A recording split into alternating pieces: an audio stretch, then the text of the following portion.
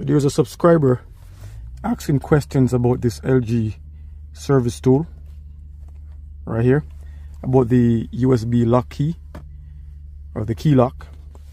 I think his name is Skinyox. That's his name right there. And he was also asking if he could contact me or communicate with me their way.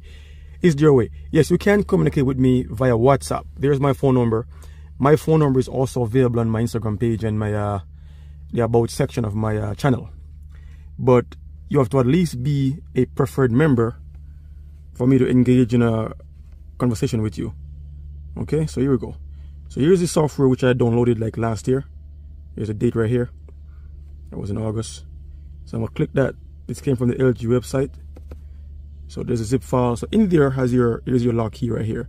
You have to unzip that and install it on your computer as well. Right? Not only this, but them both, both of them.